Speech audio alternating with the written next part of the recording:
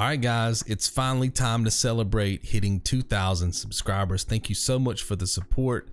We've had this channel for what a year and a half now, something like that. I think I've posted 57 RTC guides, something in that ballpark. It's been a wild ride, uh, but I just appreciate all the support. I left a um, a post over on the community tab a few weeks ago, told you guys to leave me a comment.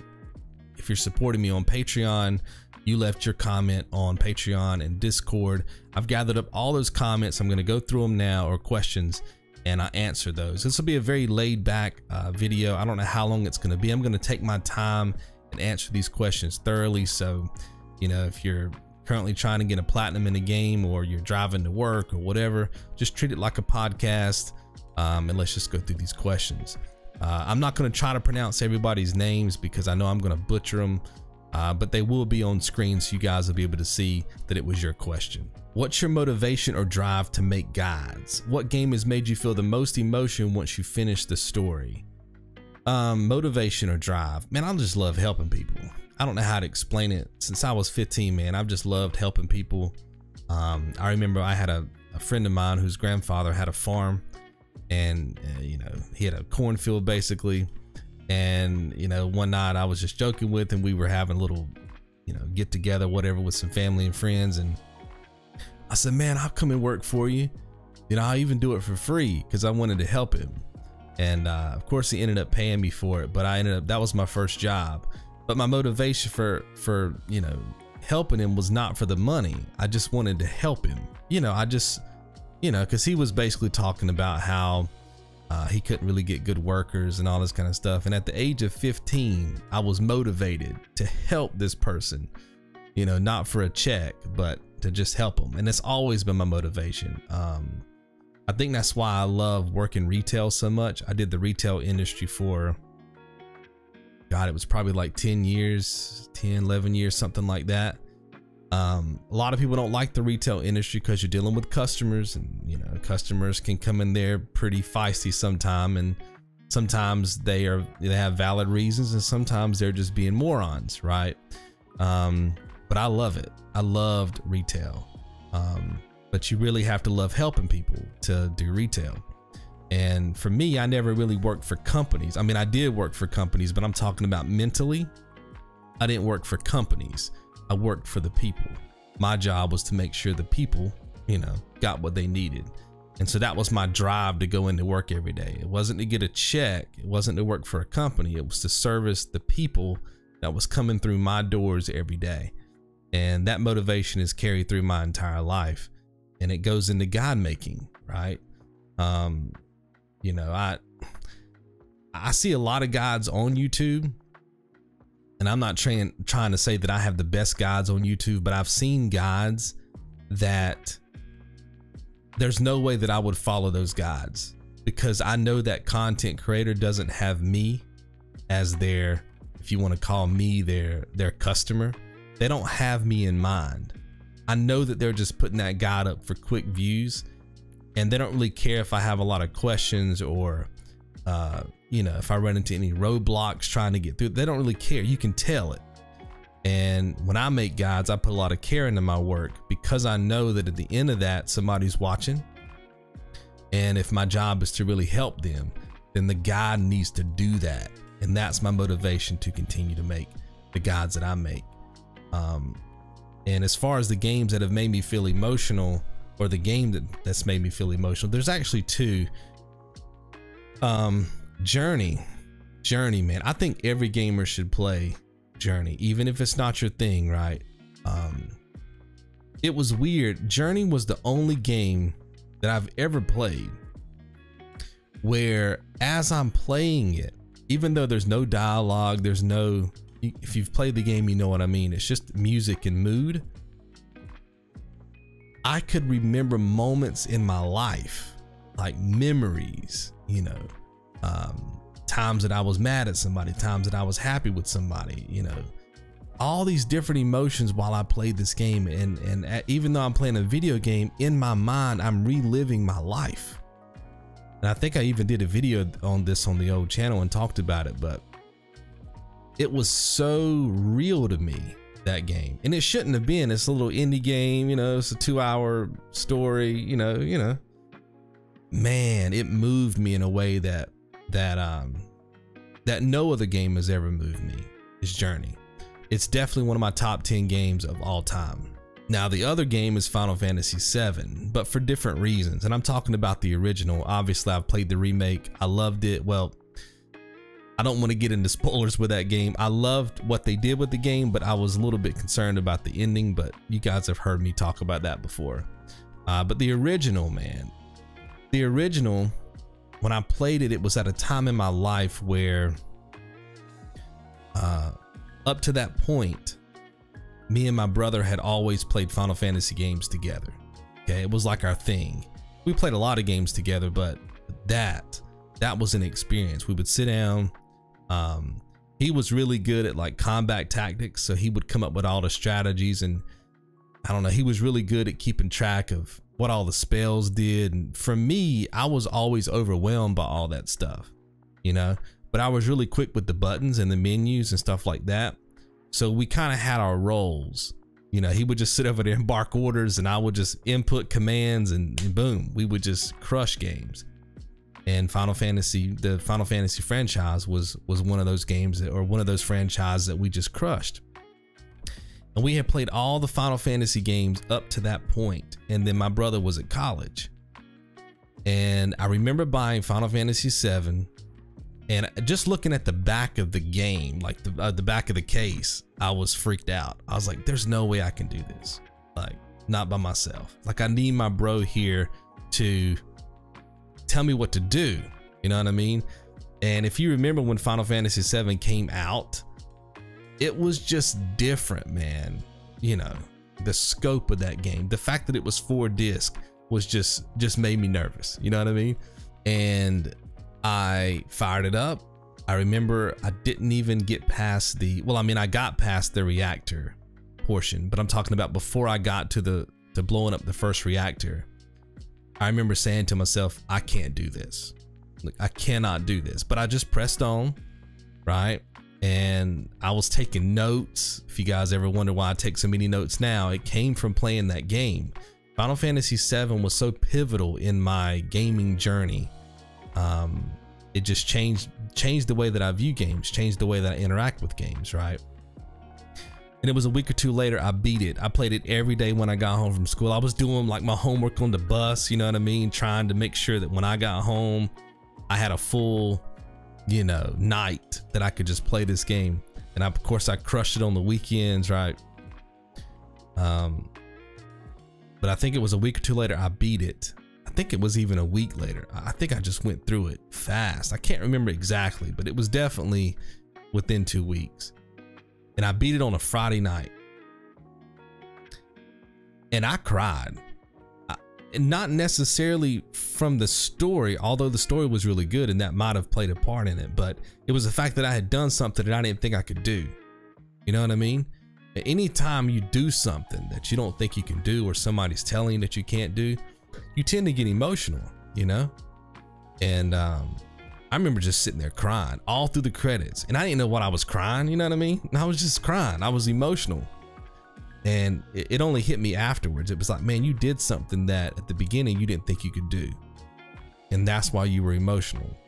And then I just played the game again. You know, that that night I beat it. The credits rolled, and as soon as I got back to the, uh, you know, the the main menu there, I uh, you know, wiped the tears away and went back at it again and I said, now I'm going to perfect this game. You know what I mean? And I've probably beaten it. There was a time there where I would beat it every year. Um, I've probably beaten Final Fantasy VII, I don't know, 10 plus times at least. Um, so that's probably my favorite. That's probably the game that's made me the most emotional from, from, but it's different than Journey. Journey was like a personal reflection of my life. And you know, Final Fantasy VII was more of an accomplishment, right? So hopefully that answers your question. How do you make your guides? Like, do you follow your own path or do you look things up on the internet? Not accusing you or anything, just wondering the process. So when I first started making RTC guides, I never looked up anything on the internet. And the reason why was because when a game first drops, the information is is very misleading, it's exaggerated, it's not accurate because everybody's learning the game. So you might go to a forum and there might be a, a, guy that's like, hey man, here's 12 steps. You do these 12 things, the trophy's yours. And you do those 12 things, and then you get the trophy. And then maybe you make YouTube videos. So you take that those 12 steps and put them in a video format. And over time, the community figures out that man, you don't need 12. You don't need to do the 12 things, man. You just need to do six. All the other stuff was just stuff you thought you had to do, right? And so for me, as a content creator, to spend time trying to figure out those 12 steps for that particular trophy multiplied by an entire game would be a waste of time, right? So I, I just went into it blind and wrote my own guide and kept playing the game over. And if there was 12 steps that I was doing to get the trophy, I would test it. So I would play the whole game again and try six steps and see if I still got the trophy. And then I knew it worked. And so, but it took me forever to post content. I remember talking to uh, another YouTuber, Dormouse03. Uh, she's actually a Patreon supporter as well. She's probably watching this content. I do need to talk to you on Skype. but um, you know, she she gave me a wealth of knowledge one time. You know, we were talking and she said, "What are you working on for your channel?" And I forget what game it was, but I told her. She was like, "Haven't you been working on that for like months now? And i was like yeah but it's not perfect you know? It's not it's not the way i want it and there's still some things that could be better and this that and the other and she said you know at some point you just have to put it up. You know you got to put the guide up otherwise you're never going to post. And it hit me and i still live by that wisdom today right? There's just there just comes a breaking point where you have to get the content out and that leads me to today. So uh, now I do look up things on the internet because I tend to cover games now on a backlog. Um, some of you know what happened to my control guide. You know, I posted that guide probably, I'd have to check the dates, but it was definitely within 30 days after the game coming out. So it was close to that release window and everything was fine with the guide until the DLC started to drop and it broke my guide. The patch, something it did with the patch broke my guide and I had to pull it down from the internet or unlist it. Uh, now for me to go back and fix that guide, I would have to write the guide over, right? So it's a waste of time. It becomes a waste of time for me to cover games around the release window now um, because of patches and updates. So because I'm kind of forced to wait to cover my guides on a backlog, now I have the internet, right? It, it, it, it from the day the game was released, everybody was was learning the game. Now I have the internet at a point where we know the game, right? So it'd be like sitting in the middle of a library writing a book report and never touching a book, you know, just winging it. You'd be silly. So yeah, if there's a game that's been out for four or five months and I'm about to write a guide for it, that's the first thing I do because I know that the, uh, the information I'm going to be reading online is going to be very accurate because people have learned. And of course, I still come across that, you know, that um, form that says you need to do 12 steps, but then I just keep researching. And then somebody's like, no, actually, you don't. It's only eight. And you're wrong too. It's only six. Then I go, well, it's one of those. So let me test six. And then if that doesn't work, I'll test eight. And then if that doesn't work, I'll test the 12 steps, right? Um, and so that's where I'm at now. Because, like she said, at some point, you just got to get the guide up. And when I sit down to make a guide now, my goal is 60 days on a AAA game. I try to do it within 15, but it would have to be a game like Uncharted for me to do it in 15 and 20 days.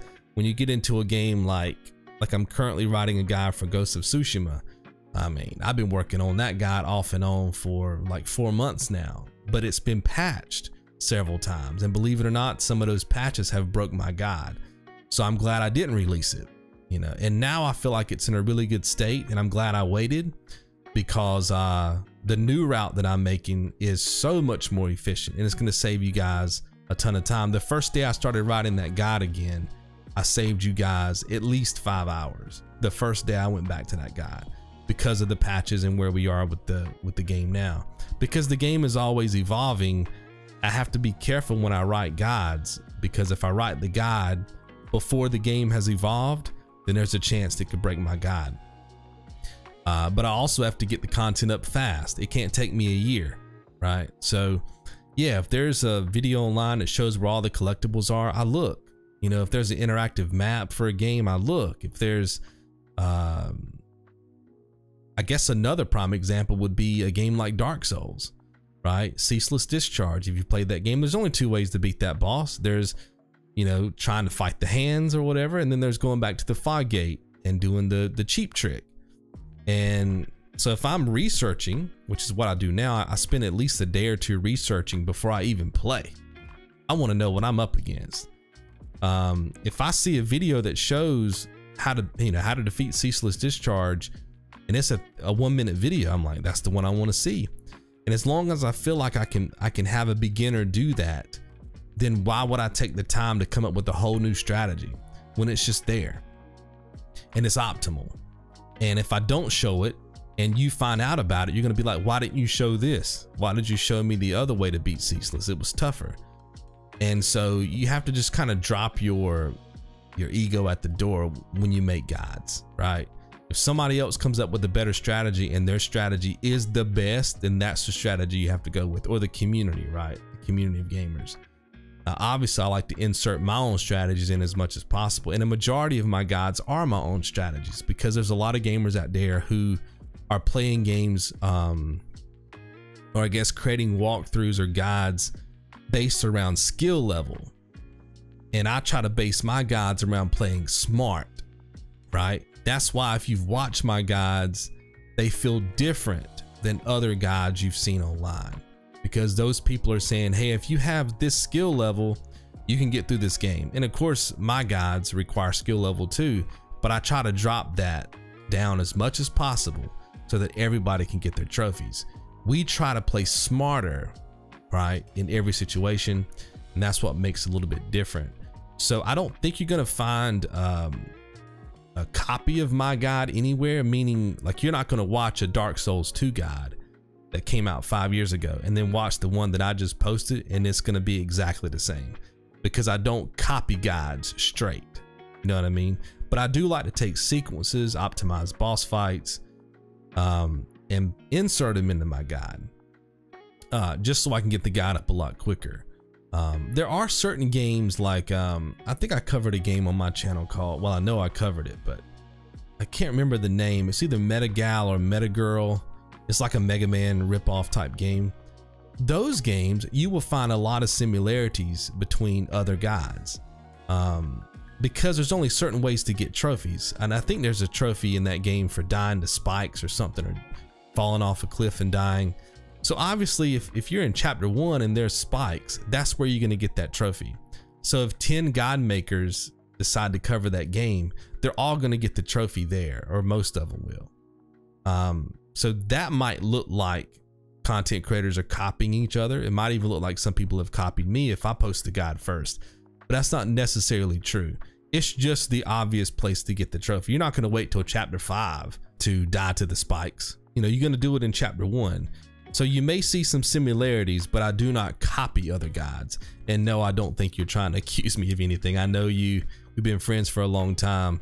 I know it can be a little bit mysterious how does this dude sit down on a on a uh, in the beginning of a month and then 30 days later pop out a guide it's because i'm putting in 14 hours a day you know? I mean that's really what it boils down to. And i'm taking all the knowledge i've gained from playing every game that i've ever played you know what i mean? And all the research i've done and i'm just stockpiling it into a 30 day binge or maybe it's 60 days to come up with the guides and then i move on. Then i have to do it again for the next game if you were to gaze into a crystal ball, where do you see the video game industry heading in the next five to 10 years?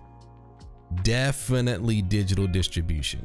Uh, I'm not saying that it's going to be 100%, but we're going to see a lot more uh, content being exclusively sold digitally. That's what I think.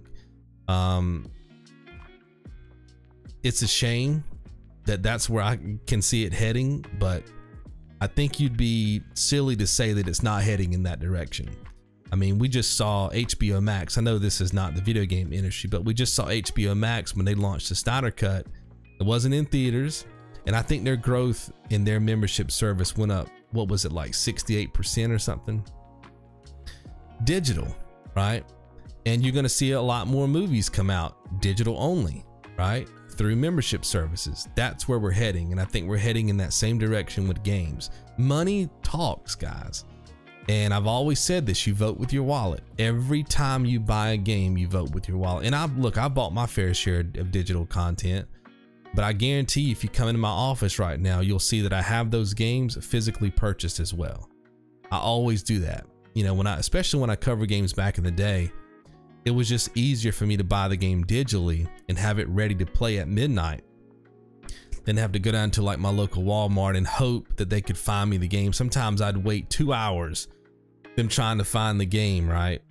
Um, I remember when Uncharted, the Nathan Drake collection came out, it took me two hours to get that game. I, I got there at 12 and I left at 2 because they didn't know what was going on, right? If I'd have downloaded the game though, it would have been ready for me at 12 because you can download it early, right? Um, so, but I've also purchased that game. I actually just purchased it back at Christmas, the entire collection. I always buy the physical version of a game because I want my I want my voting dollars to show either all physical or at least 50-50 because I do believe in an industry where we can have digital and physical. I believe that there's room for both. But the digital takeover, right? That's very appealing to publishers. It's just easier for them. They don't have to pay for, you know, shipping costs and plastic and wrapping games in shrink wrap and paying people to do that and run it. They don't have to, no. They just give you a code you know, let you download it to your, your platform of choice. That's where we're heading 100%. Uh, I'm also worried about the industry not innovating enough. Um, it takes so much money now to impress us as gamers. It doesn't me. I mean, I grew up on, you know, Mario Brothers and stuff, and I could play those games right now and have just as much fun playing those as I as I am having, you know, playing Ghost of Tsushima right now. That's just me. I don't need graphics. I don't need that kind of stuff to impress me. It is impressive and I'm happy to see it. But, you know, with it taking millions of dollars now to produce games, I can easily see the industry, um, and it's kind of there now when you think about it, um, falling into a rut where they don't want to innovate because the gamble. It's it's you know if you if it's going to cost you two to four million dollars to gamble and produce a new IP and that IP is not good, then it could tank your studios. You see what I'm saying? You know, between card packs and skins and purchasing stuff like that, I believe that's where the publishers are going to want to make their money, not investing in new stories. And that's really more what I'm interested in. If you could go back in time, would you change anything about the way you approached YouTube with Square One Games? Whew, this is a very good question. Um, I guess I could give you the the answer that every YouTuber would probably tell you right now. Oh, I wouldn't do anything different. All the pitfalls and all the successes have led me to where I am right now and all this stuff. And I know that sounds like a good answer and I probably should say it, but if I could go back in time knowing what I know right now, uh, I would have never done YouTube. And that's probably going to shock you guys after I just said earlier that I love helping people because I do. But the amount of money I've lost, uh, the amount of time I've lost, the amount of time I've lost with family members, friends, uh, birthday parties, the whole nine because I had to produce content. Yeah, I would go back and change that. Um, that's where YouTube, that's the side of YouTube that viewers don't see. If you're just a viewer, you don't see this part of YouTube. It's the negative side where oh my god i gotta get a video up you know tomorrow. People are waiting on it. A game just came out. I gotta cover it. I have to cover i don't have a choice you know uh yeah if i could go back in time i would get rid of all of that i would have just i would have just said because a lot of you guys know this story i started youtube just because i mean i didn't have a plan i just started it uh, there was a trophy i was trying to get in battlefield 3 I go online, nobody can tell me how to get it. So I figure it out. I uh, my roommate's also playing the game. I show him how to get it. He's like, dude, you should post a YouTube video and show other people. And I did that. And that's it. Like I didn't have a plan. And here we are. You know, I've been doing YouTube for almost 10 years. Now it's become such a part of my life that I don't even know how to stop it. You know what I mean? Well, I know how to stop it. I just run out of funding, right? Which is kind of where I'm at now. I only have a I have a limited amount of time left on the internet. Of course, we've got uh, Patreon support and PayPal support, and as long as that stuff is coming in, I can continue. But if I were to wake up tomorrow and there's no support, I would have maybe a half a year left, and then my personal banking account would be out not out. I wouldn't be broke, but the money that I set aside to do this thing, I would be out of that money. Um, but if I could go back in time, I would have all my money back. you know what I mean? And then when you also factor in uh, the money that I haven't made while I've been doing YouTube, because every moment that I'm spending on YouTube making content, I'm not making money doing something else. You see what I'm saying? So when you look at your losses in life, when it financial losses, it's not about the money you've lost. It's about the money you could have made while you were losing the money. you see what I'm saying? Uh, and and that's a very large number. So yeah, if I could go back in time, uh, I wouldn't I wouldn't have never done YouTube. I would have got my Battlefield 3 trophy, man, and moved on. right? Looking back, now you say, well, you're here now. Well, yeah, I'm here now. Sometimes life throws you something and you have to roll with the punches. And I'm here now. And I'm happy that I'm here. But that's not the question. The question is if you go back in time, would you change anything? And it would be everything, you know. Um, because I wasn't looking at YouTube when I first started as being a career path. Back then, I didn't even know how you made money on YouTube. I didn't post a video to make money. I just said, you know, that whole help thing kicked in. My roommate was like, man, you can help a lot of people. I was like, well, that's what I like to do. So I throw the video up and then the channel was born. Next thing you know, I had 300 subscribers and I had 700, then I had 2000 and I was like, what's going on? And you just roll with it. And you you don't think about the money that you're losing. You don't you just think about helping people. What's one guide you've always wanted to do but never got to? Easy, easy answer. Final Fantasy X HD remastered. Dude, I want to cover this game so bad on the channel. I mean, I want to cover all the Final Fantasy games. I started with the original Final Fantasy 7 and then I covered the remake. But I want to do 8, I want to do 9, I want to do 10. I want to do them all. Final Fantasy X was the first game that I got uh, with my PlayStation 2. I bought them together. Um, I remember I looked all night for that for that uh, package finally got it loved the game and then of course when the remaster came out um, i borrowed it from my friend and uh, said I'm, i gotta write a guide for this game. And i actually started writing a guide for it uh, i don't know about two years ago something like that. And if you've played the game i'm currently at the via Purifico. uh, I still got to, of course, do all the grinding and then can't, you know, capturing all the monsters and do all that stuff. But the campaign is pretty much done and my estimates we can probably get through the entire campaign in less than 10 hours which is pretty freaking fast.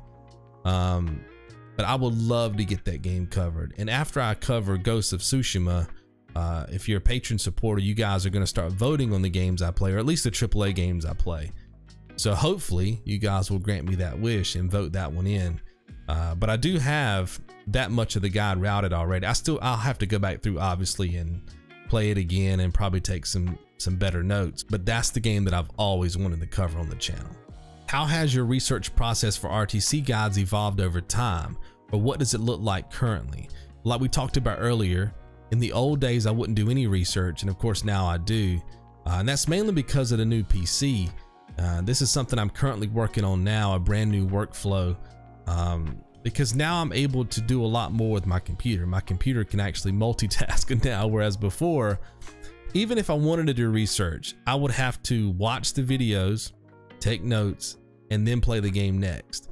Like now I can actually watch a video, run OBS, take screenshots, have all my, you know, Google Slides and, and note taking, you know, uh, browser windows open and play the game all at the same time. So that streamlines everything, right? The new workflow is, I'm still perfecting it, obviously. I've only had the computer for what, a little over a month now. Um, but that's something that's going to evolve over the course of this year. But being able to multitask has changed everything. So now I'm actually able to research and uh, I guess what I'm saying is I can combine my research process with playing the game at the same time, right? I got three monitors so I can pull a YouTube video up if there's a let's play.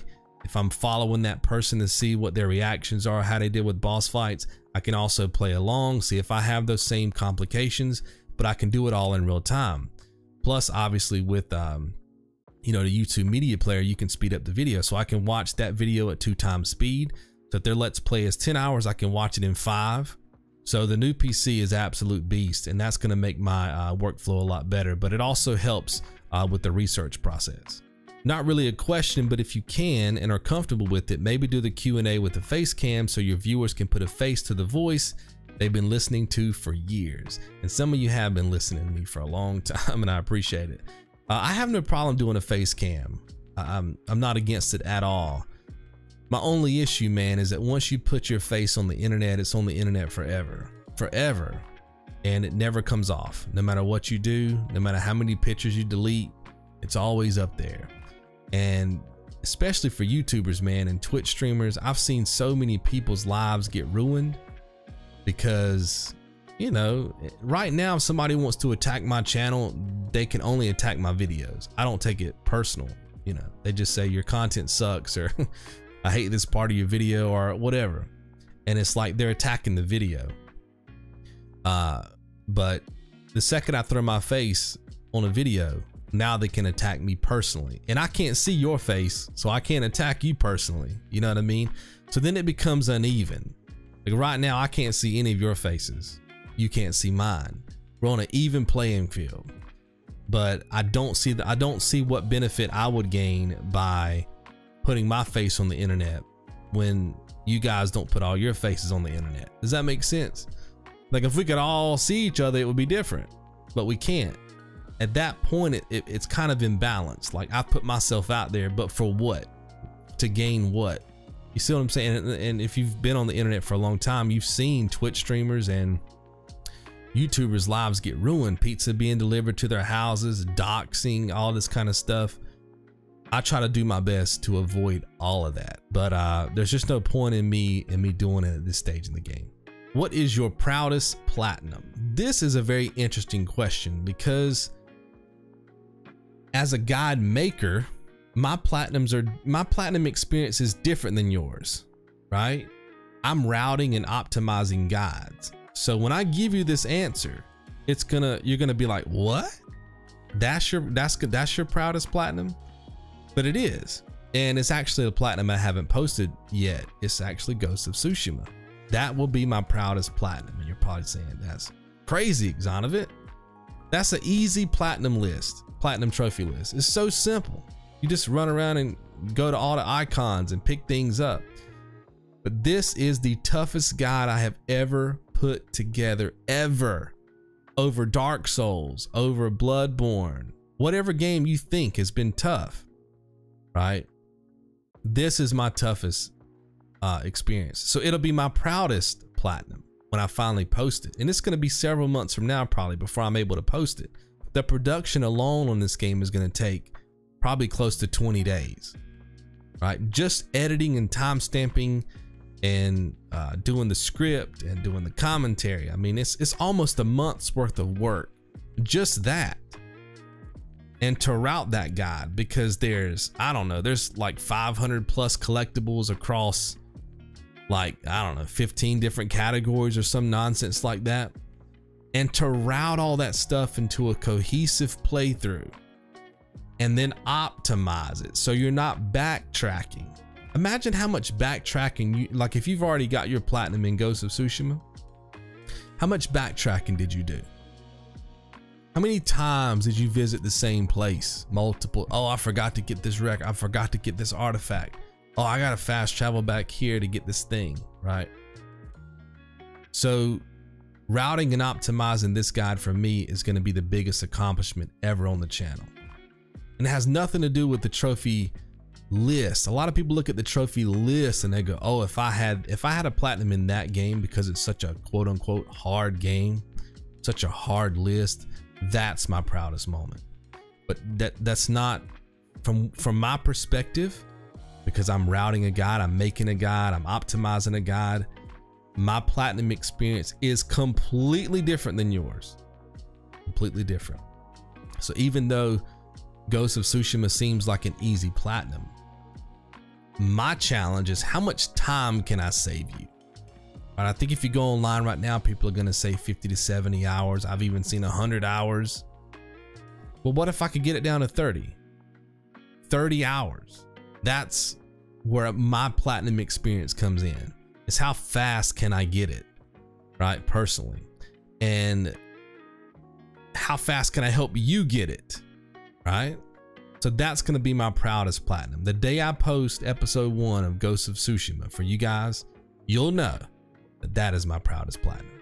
And to take it one step further, the next game that I cover in the future that is crazy to route, has a ton of optimization, has a ton of time saves, that'll become my proudest platinum.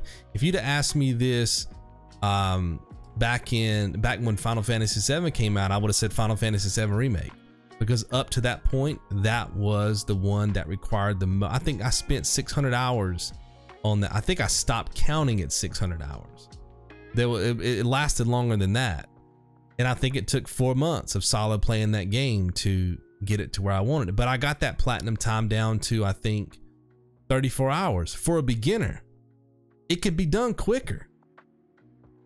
So that was my proudest platinum if you'd asked me back then. But now the most complex game that I'm working on is Ghost of Tsushima. So that one wins. But a year from now, it's going to be whatever the next complex game is. There was once a time it was Star Wars Jedi Fallen Order. It had over 400 collectibles, right? And routing it was a nightmare. But those become my proudest moments. After releasing the highly controversial The Last of Us Part 2, where do you think Naughty Dog can go from here? It seemed like you either hated or loved the game, with myself and many other huge fans of the first game not enjoying the sequel. Do you think they'll ever revive Uncharted or Jak and Daxter? Uh, I, I I think they I think they're done with The Last of Us. I think they should just hang that one up. I really don't see a future for that franchise. I'm not saying they won't produce something, but I'm personally done with that. Now, obviously, I have a YouTube channel. I'll have to cover the next, you know, installment if they make one. But uh, if I didn't have a YouTube channel, I'd be done with The Last of Us. Uh, and believe it or not, I've never played Jak and Daxter. That's something you guys don't know about. I've never played that. I've, I, have i have always wanted to, just never gotten around to. I've actually never played Ratchet and Clank either. And uh, I actually downloaded the free Ratchet and Clank game the other day. So um, if patrons vote on that game, I'll cover it. But I would love to get in those franchises. So I really can't talk too much about Jak and Daxter because I don't know the story. But I can talk about Uncharted because your boy knows that story really well. A lot of you guys found my channel through Uncharted videos. Um, some of you know this already, but to me, Uncharted 4 wasn't necessary. Um, it's probably my least favorite of the Uncharted games is Uncharted 4. I just I just didn't see the point. Um, they did set up the daughter though. They did set up the daughter character. So I think if they went anywhere with Uncharted, it should be focused on the daughter. Uh, Nathan should be like a background character, you know, father figure, mentor, maybe. Uh, but I think it should focus 100% on uh, the daughter. I think the elements they put in Uncharted 4 the stealth elements where you can hide in cover and all this kind of stuff. I, I didn't like that for Nathan. I, I see why they implemented it because he's older and blah blah blah. But I think they should have saved that for the daughter. I think it would have been a great transition, right? Even if you even if you make Uncharted 4 and Nathan's doing the same old same old, you know, he's not running around getting in bushes. Uh, then you introduce the next Uncharted game, and now we're focused on the daughter. I think she should be a stealth character, right? And I said this back in the day. You know, she should be the one hiding in bushes. That would make us feel like it was a completely different experience. Now that we've already played that with Nathan in 4, if they go that route with her, if they do, you know, continue that that story, it won't it won't it'll feel um it won't feel fresh. Does that make sense? So I personally would have if I were gonna make Uncharted 4, I would have made it just to set up the daughter character, but I wouldn't have introduced anything extra with the the stealth element, right? I would have saved that for the daughter character. Um, so for me, if they if they keep on with Uncharted, it should be focused on the daughter uh, I mean, think about it. We know that Tomb Raider was a thing back in the day, and then basically Uncharted copied that formula, right, with the male character. But if you create, if you continue the Uncharted franchise with the daughter, now you have a female character that that could possibly rival Tomb Raider, right, Lara Croft. And I think that would be the direction that you should go, right? Um, but as far as Jak and Daxter, man, I can't I can't say I haven't haven't ever played that franchise. And like I said, for The Last of Us, I think they should hang that one up. I think that one's uh, at least for me personally. Uh, you guys know I made a video. I, I hated the game. I still do. Um, uh, I would only play it because I had a YouTube channel. Why did I break every controller I own while trying to platinum DS3? And will there ever be a platinum guide for Prey 2017? For the same reason why I almost broke my controller trying to get my platinum in DS3, and I think other players feel the same way, that trophy list was horrible. When you look at the trophy list, it seems easy. But then when you have to do all the offline covenant farming, I think my total platinum run for that game was 26 hours, I think and what was it 40 or 50 percent of that was farming boring farming yeah if you broke your controller trying to get a platinum in that game your boy Xonovit's not judging you uh, as far as the uh, platinum guide for prey uh, I have no problems covering prey uh, if patrons want that when we start voting then then that's the game that I'll play uh, I can tell you right now if you're looking for that guide I'll give you a link below. Hopefully she still has it on her channel. Dormouse03 covered that game back in the day. Uh, so if there's anybody that I trust to get you through a game other than me, it's her. She has a lot of other guides on her channel. If you guys are into um, The Evil Within, she covered that game. She's covered a bunch of games on her channel. Full 100% trophy guys, just like mine. She does commentary. She thinks um, like a beginner when she plays so she can mimic what she, she does the same thing I do. Right? I try to play like a beginner, she does too, so that you can mimic that play style if you're nervous about the game. Uh, so if you're looking to get that guide now, to follow that game now, then I'll leave a link below to her channel. Go check it out. Uh, you know, if the patrons vote on it for me to cover at some point in the future, then I have no problem uh, putting it on this channel. Firstly, congrats on 2K subs, mate. Thank you. Very well deserved. Is there a game or franchise that you haven't played yet that you really want to play? Secondly, what is your favorite video or series you have uploaded? Lastly, what are the retro game shops like in your part of America? Keep up the great work, mate. I will. And actually, I follow your channel too. I'm subscribed. I watch all your videos. You keep me uh, update on all the PlayStation Plus, you know, updates and free games and gaming news. So I appreciate your content too. Uh, first question, gaming franchise that I really want to play. I'll go with Ratchet and Clank since we talked about it earlier and Jak and Daxter. And I think there's a way you can get a really easy platinum in, in one of those franchises. I think it's Jak and Daxter in like 10 minutes or something. Correct me if I'm wrong. Uh, I don't know if it's a hack or a glitch. I haven't really watched a video on it. I read it on a forum one time. But I recently downloaded Ratchet and Clank, so I'll go with those games for now. Secondly, what is your favorite video or series you have uploaded? I think on the new channel,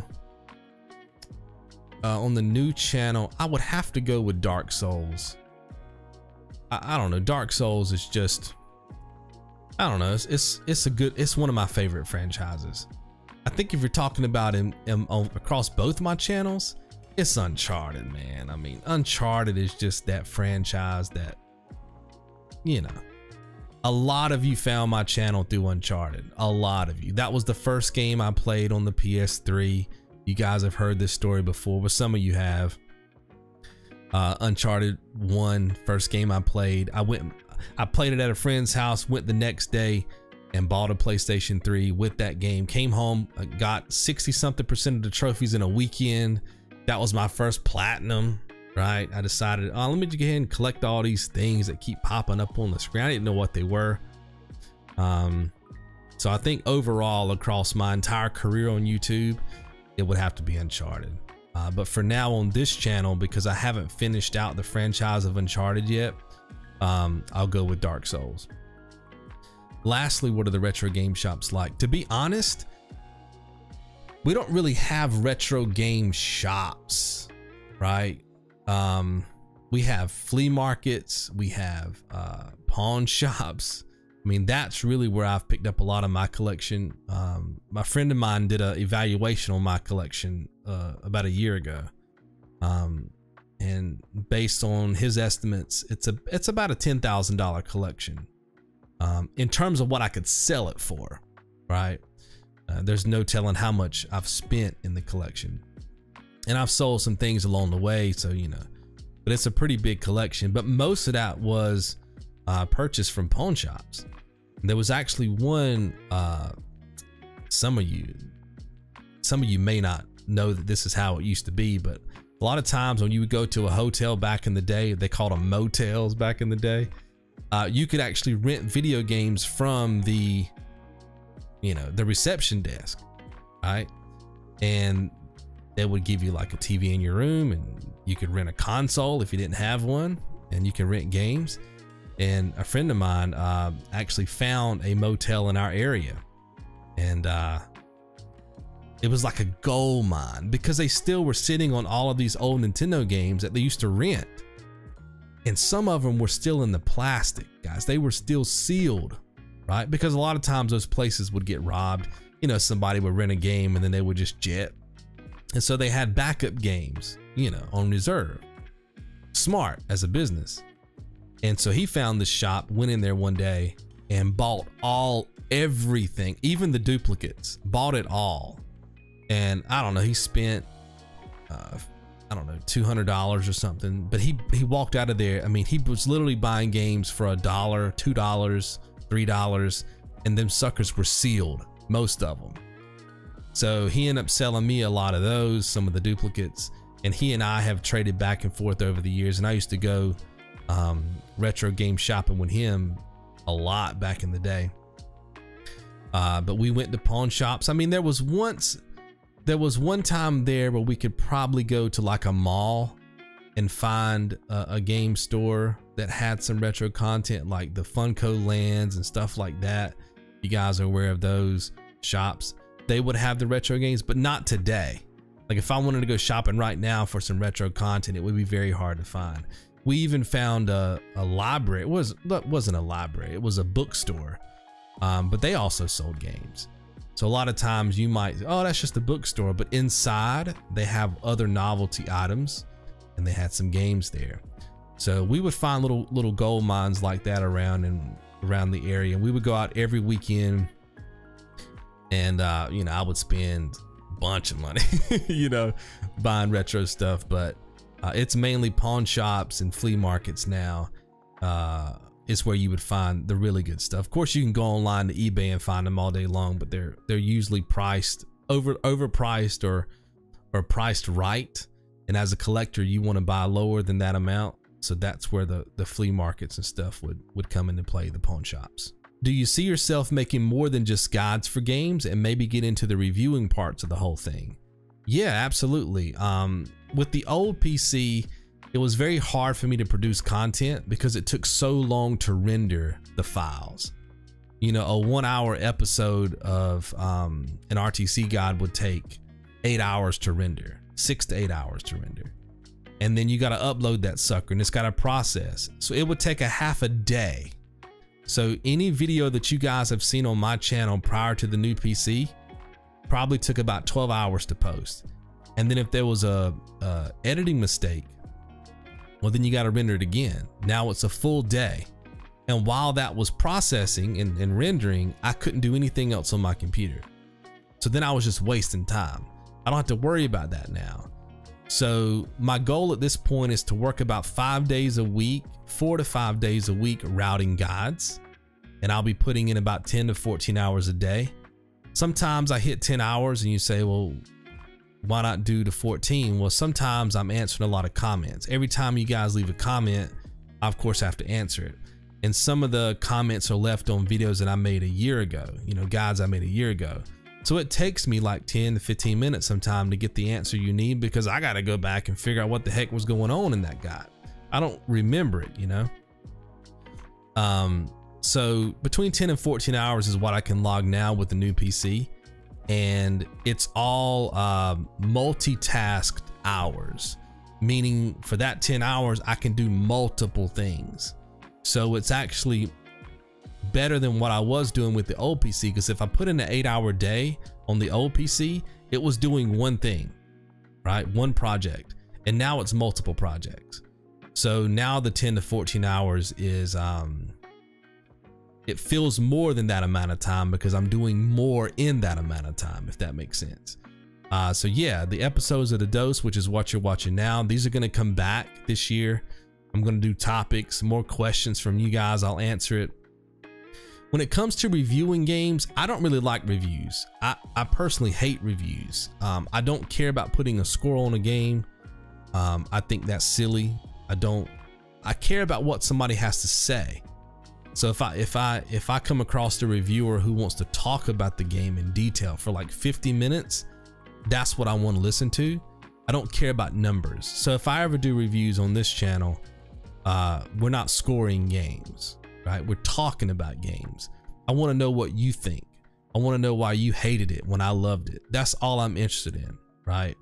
Uh, but I think for me, I think reviewing trophy list is something that I can do on my channel that's unique. Talk about my experience hunting down the trophies. Um, and then we can talk more about that. So maybe I can do a little bit of the the uh, the normal reviews for games, talk about my opinions, but also do the trophy list. I think that would be cool for the channel. But I want to do a lot more stuff, guys, with the dose this year. Uh, now that we have the new PC. So I'll be branching out a lot more and, and, and there'll be more content going up on the channel than just guides.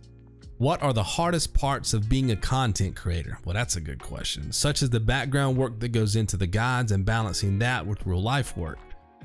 Do you ever get to play games casually or are you, are you always thinking, uh, are you always working on guides and do you ever get burnt out and think of giving up? Also, congrats on 2K subs. Thank you so much. Whew, we're going to be here a while. Um, I have a lot to say about this topic. Since you asked, I will tell you. The hardest part of being a content creator is the mental struggle of being a content creator. It is not hard work, guys. All we're doing is making videos, right? Even some of these vloggers, I mean, what do they do? They take their kids to the pool one day, they film it, they get 2 million views, right? They get a new pet, new puppy, they carry you along to the store with them, they pick out a few gifts for the puppy, they come home, it's a 10 minute video. Anybody who tells you that stuff is hard, I, I don't know what planet they're living on. I, I watch a lot of YouTube content on, on, on this platform, and I don't think any of it's hard. I mean, when you compare what we do on YouTube to, you know, roofing a house in the middle of summer, digging ditches, pouring concrete, going to war, right? Uh, these things are not hard in comparison. There's nothing hard about playing a video game. There's nothing hard about editing. You know, it's just time consuming but that's it. But that's not hard, right? The hardest part for me is the disconnect between the viewer and the content creator. And I'm speaking for myself here because I'm one of the few channels on YouTube that holds their content to such a high standard that if I'm going to make a career out of YouTube, it needs to be funded by the viewer, right? It needs to come, the money needs to come from the viewer. If I can't get the money from the viewer, then I shouldn't be doing this as a full-time career. That's how high I hold my my content, the standard I hold my content. That's the mental struggle for me. The fact that I can put five, 600 hours into a project and not get a patron supporter from it or not get a PayPal donation, right? That's tough for me because, you know, we're talking about four, five, six hundred hours. you know, a thousand people watch that series. You know, I can tell by the comments about how many of you got your platinum. And I'm not picking on anybody. You asked me the question. I'm just telling you, this is the tough part for me. It's just you as the viewer knowing, oh, this guy probably took 400 hours to make, right? This dude gave me 400 hours of his life so I could get my platinum in a weekend. But then when that doesn't come back to me in an exchange where value is placed on my time, that's very tough for me. It's very tough. It happens with every single game I cover.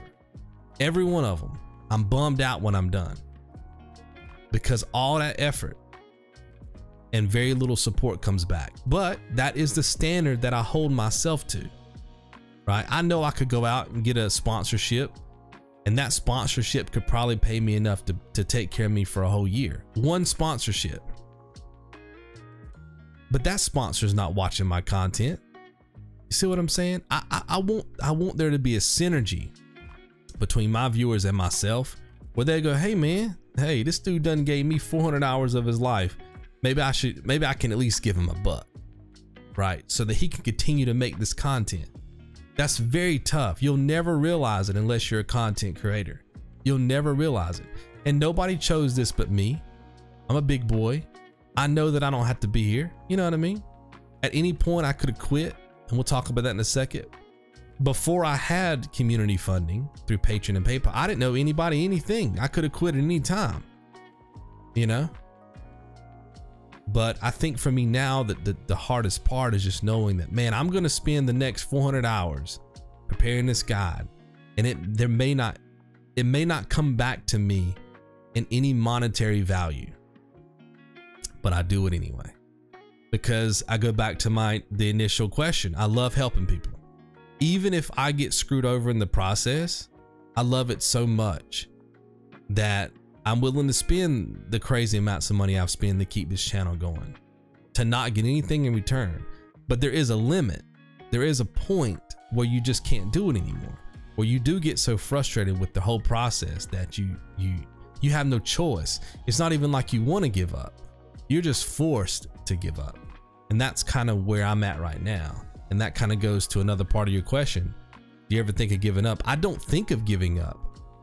I just know that that day is coming. If the support isn't there, I have no choice. I can't keep burning through my life savings. You know, at some point, you have to just give up. But I don't ever think about giving up personally. Like, wake up and go, I can't do this no more. I'm just looking at the numbers. I'm looking at my banking account, and that's telling me that there's coming a day where you're going to have to give this thing up. So, something hard about this it's just mentally taxing when you put in so much effort and then you get very little back. And you can't say that you need help. You can't say that you you can't come and make a video and say this is what we need and this is what I no because then you're e-begging, right? You know, you, you can't. It's like as a content creator, you can't say what you need from your viewers because you're e-begging. There's a negative connotation with it, right? But as viewers, and this goes back to what I was talking about with the disconnect. Viewers can sit there all day long and say, when are you going to do this? When are you going to cover this game? Why haven't you covered this game yet? And I can't say anything to you. I can't say you're E whatever. You know what I mean? I just have to go, I'm working on it, or I'll get to it tomorrow, or I'll try to get it done when I can get it done. You know? So the viewers don't always share the same level of passion about getting the content as I do about getting it to viewer. There's a disconnect. It's not balanced, right? Think about it. When you subscribe to my channel, all you had to do was click a red button and maybe click the bell. Maybe. I have I have to spend money. Like I'm on the hook. you know, and I've already told you how much I've spent in the history of my time on YouTube. That, at this point, and some people have asked me this, you know, why did you decide to make this a career? It has to be a career. I have to get my money back or try. You know, I have to try to get what I've spent, recoup it. Just like with any other investment, you have to try to get it back or you have to move on. So I didn't really have a choice. I mean, but to try to do it full time. And like I said, I'm very appreciative of the the money that's coming in now because without this money, we're staring down the barrel of about a six to eight month uh, life on the channel, and that's it. It's over. Um, so I'm very appreciative of it. Don't get me wrong, but there's still a huge disconnect between viewers and content creators, and that's because you know just 99% of the the channels you don't have to do anything. You just watch. But I guarantee you, if you look at your subscription, um, do it right now. Pull up in a separate browser, pull up all the people you're subscribed to, and ask yourself if YouTube was to lock this content behind a paywall tomorrow, and the only way you could watch the content was to pay a dollar a month, would you do it? If you're subscribed to 100 channels, you mean to tell me you're going to pay 100 bucks a month to watch every channel? I guarantee you that a lot of you are subscribed to channels just because it's free. Not because they make good content. And that could even be my channel. You might just be subscribed to me because it's free, not because you think it's actually good content.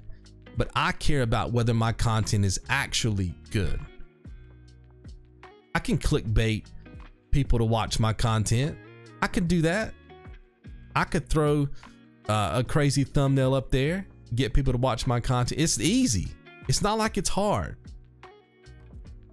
But I want my content to actually be good. And I know if people are voting for my content with their wallet, then it's good. The same reason why we pay for games. And if you don't like DLC, you don't pay for it.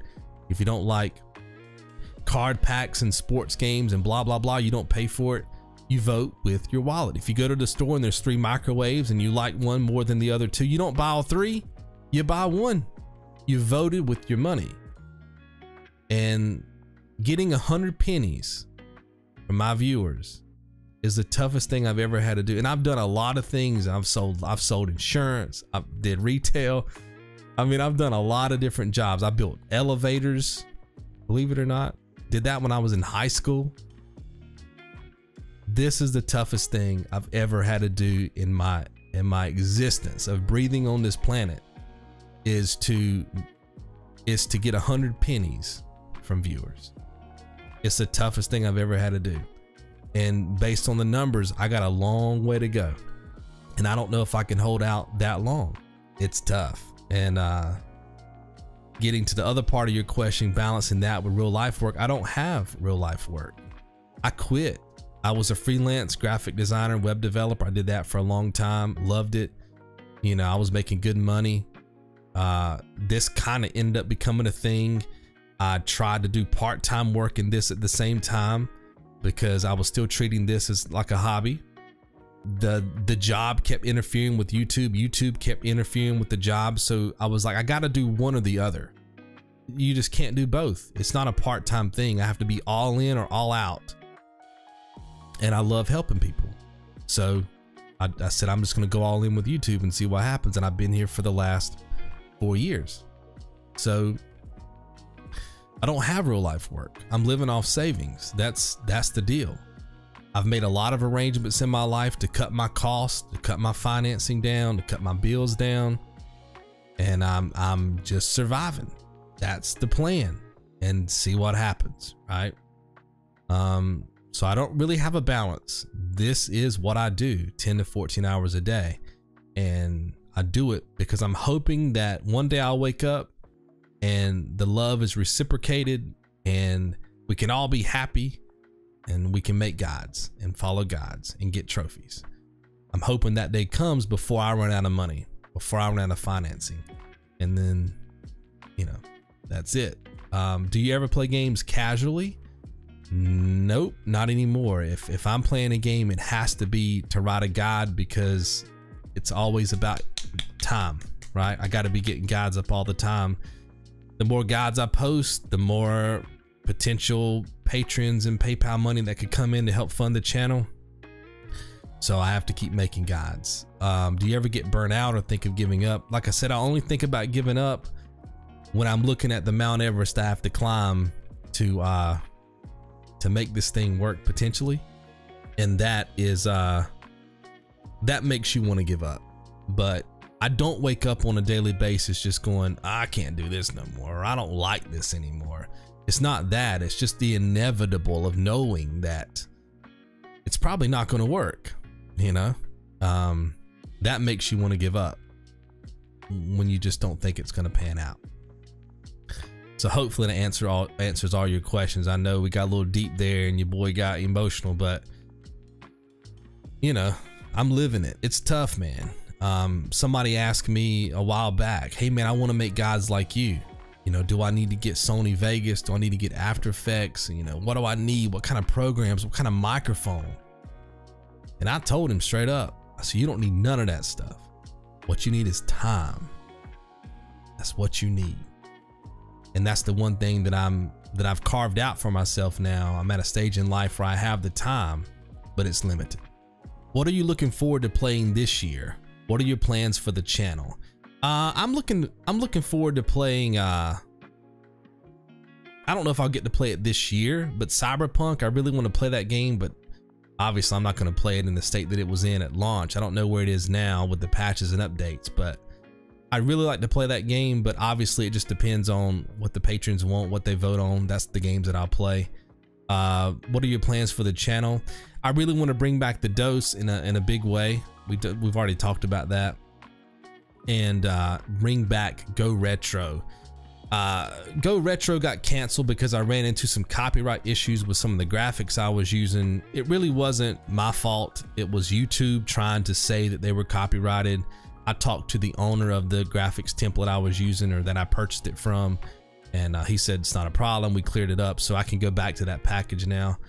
Um, but I really would love to bring back Go Retro and just play old games, man. That's the games I grew up on. A lot of you are older like me.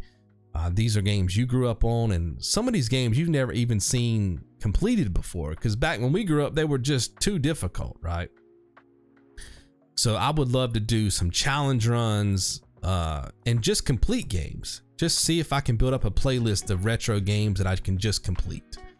You know, and then maybe add some challenges, some tutorials, and just enjoy retro. Um, I really want to bring back that show. I'll be working on that over the next few months. But um, the dose is ready. Uh, you're watching that now. Um, it's very easy to put together. This one's not. The this Q&A video took a long time, but most of uh, the dose episodes will be five to 10 minutes long, maybe 20 minutes, maybe even longer if you want to treat it like a podcast.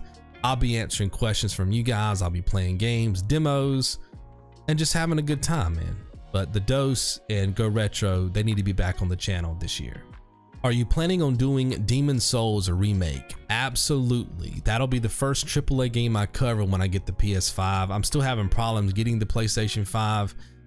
Guys, I've spent so many hours online trying to get this thing. I, between the bots, and scammers, and stuff, I can't get it. Um, so I'm gonna have to wait till it hits stores in my area and just go to the store and get one. Um, but from what Sony said, it should be the bottom half of this year. You should be able to find a PlayStation pretty easy. So hopefully I can get one then. Uh, but yeah, that'll be one of the first games I cover. I also want to cover, you know, the Spider-Man games, even the Astro's Playroom game. I want to cover that.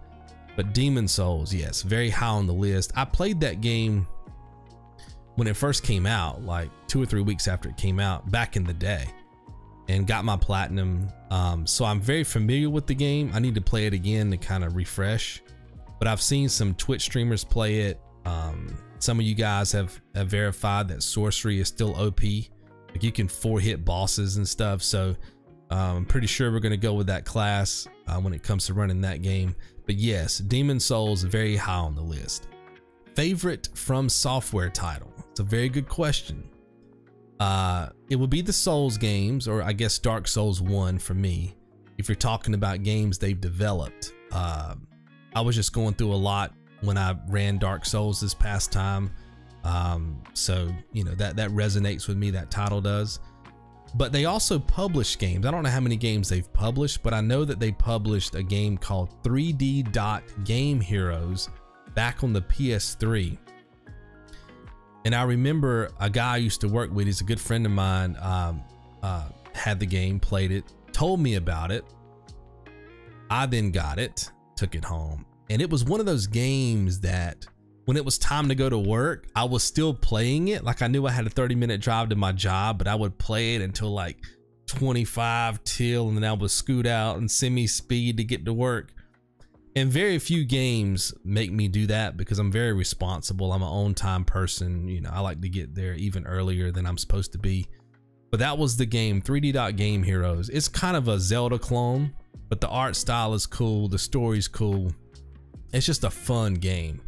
So, depending on how I read that question, it could be um, games they've developed or games they've published. And if they've if you're talking about publishing, it would be 3D Dot Game Heroes. Uh, developed, it would be Dark Souls 1. What has been your favorite game to prepare a guide for? Um, that's an interesting question because if you say prepare a guide for, uh, I always like the games that take the least amount of time. That's my favorite because I want to post content. So if I look at that question with that context, it will be games like Road Bustle and like, you know, Metagal or Metagirl or whatever that game was and Chickens on the Road. I mean, those are my favorites because they take no time to produce. I mean, if that's the context of the question. But if you're asking me what's my favorite game to prepare a guide for uh, that I know is going to help gamers more, then it would probably be uh, Bloodborne, um, Sekiro, because those games, I think even compared to the Dark Souls games, people will say that those games are tougher because of the mechanics, right? With Bloodborne, you really don't have a shield. I think you can get a wooden shield in that game or something, but obviously it's garbage. It's kind of a, a troll from the developers. Uh, and then with um, Sekiro, you know, people are nervous about that being a more high impact, energetic game. Um, you know, try to go in there and they're nervous about blocking and parrying and all that kind of stuff. So it was very fun for me to put that guide together and show that you don't actually have to do a lot of that stuff. You can just play smart. So depending on which context you're asking that question, I obviously love games that take me no time to produce. A lot of people ask me, why are you covering freaking chickens on the road, bro? Like, give us some more Bloodborne. And it's like, man, I need a break. you know what I mean? I don't necessarily get burnt out uh, but man, after you after you cover a game like Star Wars Jedi Fallen Order and you've been in it for 45 days or however long it took me to get that guy together, I think it was less than that. But you get my point.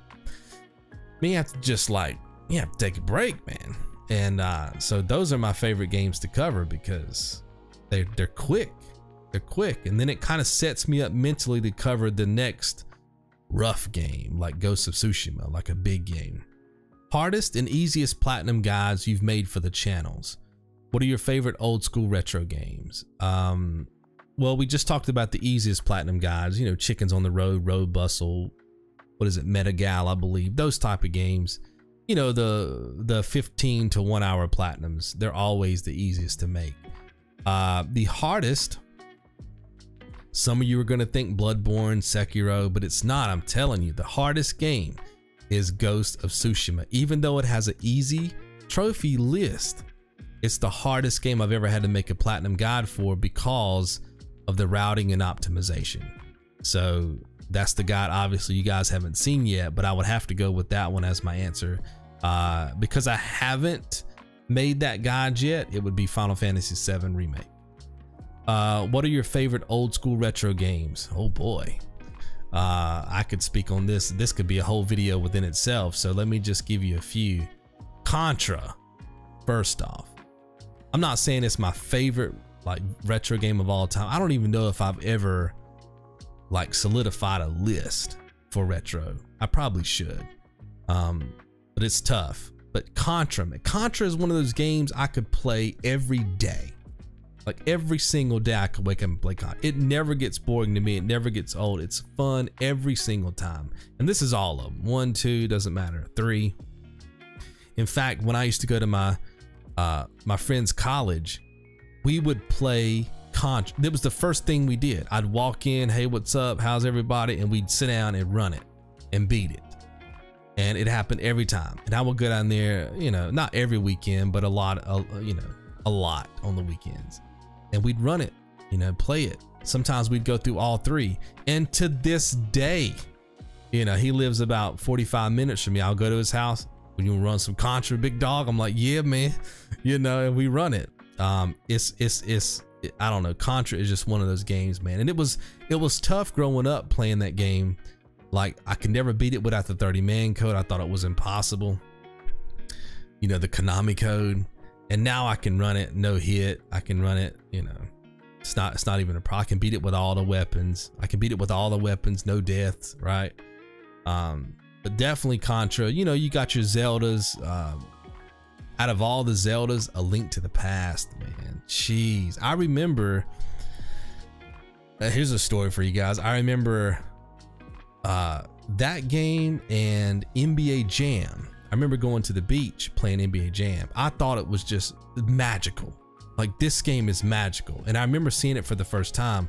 There was a line down the boardwalk at the beach of people just waiting to play. It was NBA Jam and Mortal Kombat. That was out in Street Fighter. I mean, people that this is what you played when you went to the arcade, these three games. Lines out the door. But I remember when those two games hit the console, like you could play them, NBA Jam, you could buy it. And A Link to the Past, you could buy it. And our parents had given up uh, given us enough money to buy one. We wanted both. We were like, well, let me get NBA Jam and let my brother get, you know, Link to the Past. But they were like, no, you can only get one. And back then, SNES, uh, SNES games were, you know, quite expensive. But we could only get one. So we went to the store with my cousin and he also wanted NBA Jam. We wanted NBA Jam, but we wanted Zelda as well. You know what I mean? He didn't really care too much about a link to the past, but we did. So we were like, hey man, we'll get NBA Jam. You get a link to the past, and we'll just, you know, we'll we'll act like we'll basically share them. You know what I mean? So anytime you want to play NBA Jam, man, just ask for it. You know, it's not a big deal, you know? And we conned him into getting a link to the past, even though he didn't really want it. And then what we did is we went to his house actually that day um, went to his house to spend the weekend and we were going to play NBA Jam all weekend, but then we had two games. So we were like, hey man, let's just try a link to the past. Let's just see what's up. You know what I mean? So we spent the whole weekend just constantly telling him, let us play, man. Let's just play it. Let's just beat it. Let's just beat it, man. So we ended up beating uh, a link to the past uh, over the course of maybe two weekends and then we just kept NBA Jam. Anytime he wanted to play he had to come to our house. We never gave it to him. So it was it was quite a, a con we pulled on him. So we got to basically play both games, but we only had to pay for one. We were crazy back then. But uh, you know, then you got your Mario's. I mean, those are always classics. Mario games. You know, Mike Tyson's Punch Out. I love that game. I mean, I could go on and on and on. If you guys want a whole retro episode of the dose, man, I'll hook you guys up. I love retro games, but you know, those are the ones I could think about or tell you guys about in this Q&A video. But let me know if you guys want to hear more about my retro gaming days. I got tons of stories. Your content is pretty much top tier in terms of video production, commentary, helpfulness, etc. As much as I love your guides, I feel as though you've kind of dug yourself a hole in terms of only putting out trophy and achievement guides or walkthroughs which I'm sure you can agree are pretty niche topics. Absolutely. Uh, do you ever feel as though that uh, this type of content or the type of content you make can be creatively restrictive? Uh, do you ever want to branch out and make other types of videos such as reviews, multiplayer, commentary, etc.? Regardless of what you say, I'll keep watching your content no matter what you put out. I remember when I was big into trophy hunting, your Uncharted guides and countless others were lifesavers. Hope you uh, been doing good despite the virus that shall not be named and staying healthy and happy. Yeah, I've been doing really well. Um, good question. I think we've talked about this a little bit. I do want to branch out now that I have the new PC and I can actually produce the content. Um, I do want to make, you know, more, you know, I guess various types of content using the dose. The dose is really cool because I can, do anything with it. You know, I can demo games. I can run multiplayer with you guys. I can do Q and A's, whatever, right? And then, of course, with Go Retro, we can just get into more specific content with uh, retro games. I can do completion runs, challenge runs, stories. But yeah, I definitely want to get out there and do a lot more stuff. Um, but I want it to be interactive. So I'm going to be feeding off of, you know, what you guys are saying as, as viewers and stuff like that, especially with the dose. If you guys say, hey, there's a new demo coming out next Tuesday, I'll play it. You know, if you say, hey, I really want to know about your retro days. Tell tell us some more stories, and I, that's what I'm going to cover, right? So I'm one of the few channels on YouTube that still goes with the whole interaction thing. So it's really about how much you guys want to get involved. You guys run the show, you know. I'm here, you know, but but I I I, I tend to uh, post content based on what I think you want to see. So the more interactive you guys are with the channel, the more content you'll get and it'll be more specific to what you're looking for. How did you get into trophy hunting and why did you decide to do guides? I think I talked about this a little bit earlier and some of you have already heard this story because you follow my old channel. But I had a friend who bought a PS3. Uh, he had it for about a year and kept telling me about this game. I was working at a gaming store. He was one of my customers. He kept telling me about this game. You got to play this game. I don't even have a PS3.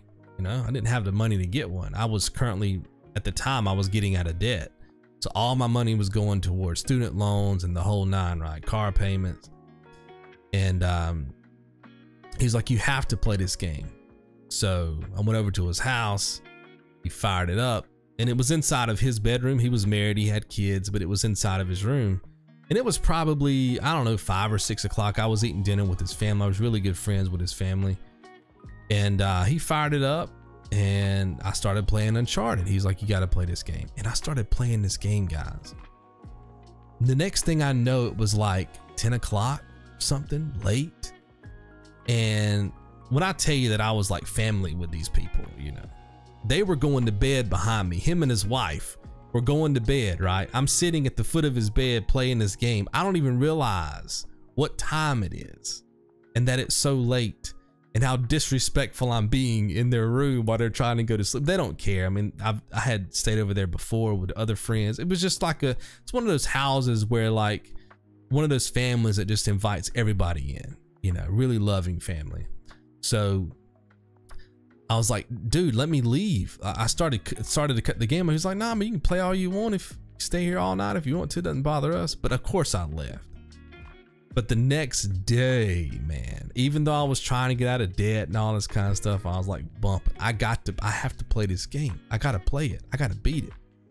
So I bought a PlayStation 3, went home, uh, took the weekend off, played it, beat it, enjoyed it. And when I was done, I had like 60 to 70% of the trophies. And I really didn't even know what the trophies were because prior to that, I had sold insurance and I was out of the gaming. I didn't play games for like a year. And, um, I just I just didn't know, man. I wasn't cultured. And so when I went to work the next day, I talked to him. I was like, I beat it. And I was like, but what are these things that keep popping up on my screen, bro? I don't understand. Like, and he told me, he's like, they're just little, you know, little accomplishments you make in the game. The developers have little challenges and they call them trophies and you can get a platinum. I was like, well, what? and he told me. And you know me, I'm a, a little overachiever. So I said, well, I need to get that. He's like, well, there's really nothing for getting it. It's not like you get any money or anything. And I was like, it doesn't matter. All right. That if that's something that developers have challenged me to do, then I want to do that. So I went home, put some more time in and, and finish it up. And I've been trophy hunting ever since. So it's because of Uncharted 1 got me into trophy hunting. And then I decided to make guides because I was playing um, Battlefield 3. We talked about this too and I think it's called So You Want to Be a Wingman or something like that, the Wingman Trophy. And it was very mysterious as to how it actually popped in the game. Like, even if you got it, a lot of people back then didn't really know like what they did to get it. It was very, it was just a weird trophy. And I figured it out. And then my roommate was also playing the game. We bought it at the same time. And that was one of the achievements. He was playing on Xbox. And that was one of the achievements he didn't have. So when he came home from college, I said, Hey man, let's go into your room. I know exactly how to get this thing. I've been working on all day. He's like, Cool. So I went in there and I sat beside of him and he played. And I just told him exactly what to do step by step. You know what I mean? And he followed it step by step and got it on his first try. And it was just this magical moment where, like, this works. You know what I mean? Like, teaching somebody exactly how to get this, it worked. And then he was the one that suggested that I should put it on YouTube. I really wasn't even that familiar with YouTube at the time. I mean, I knew it was a platform, but like I just didn't know how it worked. And so he helped me get a YouTube channel started and and uh boom, I posted it. And then uh posted another one. And then both of us started posting and we covered Battlefield 3 pretty much all the trophies. I think not all of them, but most of them. And then we just kept going from there and he helped me run the channel for a while. And then I think when Dark Souls, no, not Dark Souls, Darksiders 2 came out, he left the channel because he wanted to spend more time doing his college thing, which was fine. And then I just decided to keep going, and uh, I'm still here. So, um, yeah, Uncharted 1 and Battlefield 3. How excited are you about the next God of War and Horizon Forbidden West? And do you think we need another Uncharted game? I'm very excited about the new God of War and Horizon. Man, I loved Horizon uh, back in the day. Uh, I don't think, trying to think that I, I don't think I covered that on the channel, did I? Yes, I did cover it on the old channel. It wasn't an RTC guide. It was just regular trophy and achievement guides. Uh, but I love that. I actually bought it uh, this past Christmas. I bought Horizon Zero Dawn with all the DLC. And uh, if the patrons vote on that game, I'll cover all of it. I think there's 70 trophies or something, 75 trophies or something. But yeah, that game is phenomenal. And then of course God of War. I mean, come on, that game's amazing. I did an RTC guide for that on the old channel, but without commentary because at the time, uh, it was very hard for me to do commentary uh, one because I had to do live commentary. That's that's where I was at in life at that particular moment. I had to do live commentary, and I couldn't do live commentary with Kratos and his boy talking all the time. It was very hard for me to do commentary. So it's an RTC guy, but there's no commentary, which I hated to do. But like I said at the time, that was all I could. That's all I could pull off. I would love to go back and redo that for this channel with commentary, and then of course when the new game comes out, I would love to cover that one as well. And Forbidden West. Just phenomenal games. As far as another Uncharted game, I talked about this earlier. I'm cool with it as long as they go with the daughter as the main character.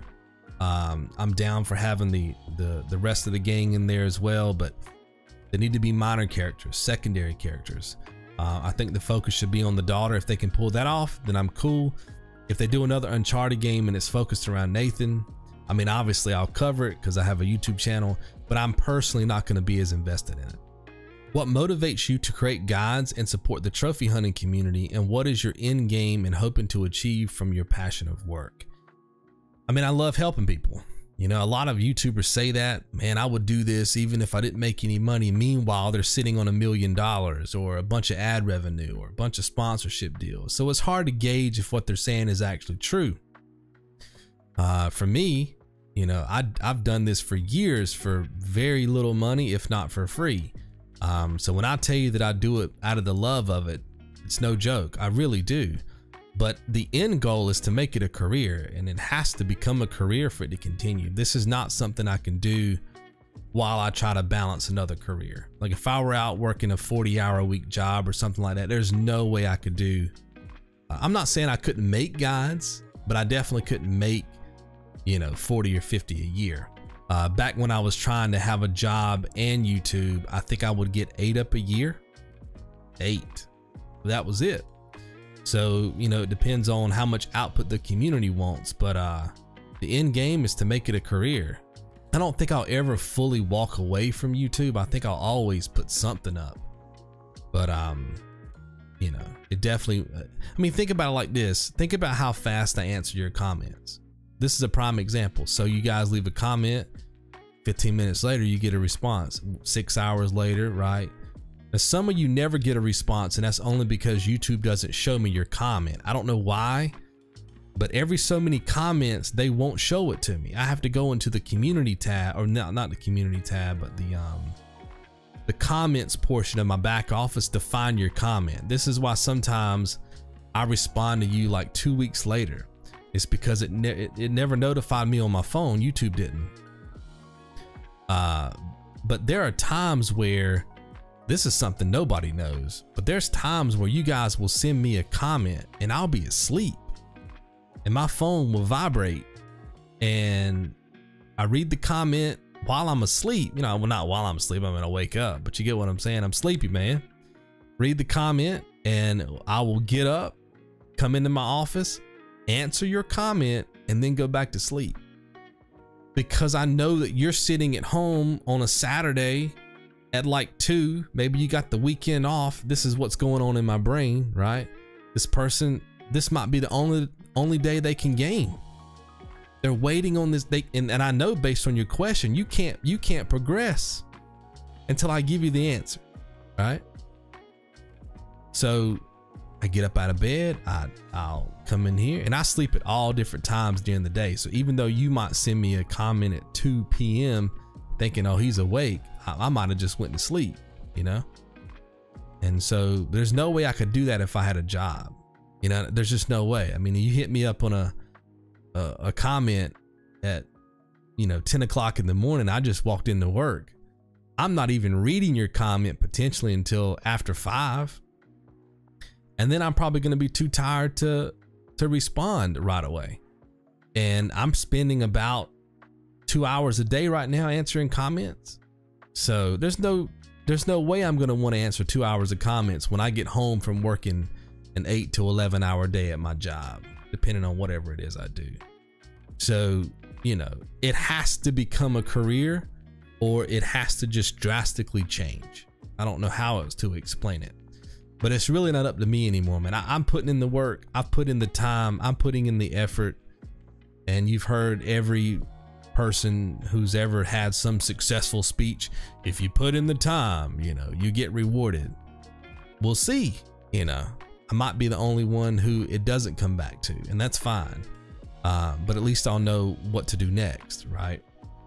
Uh, but yeah, the, the end goal is the end goal is to help the trophy and achievement hunting community so much that they see the need to help me. And it becomes a 50 50 balanced relationship.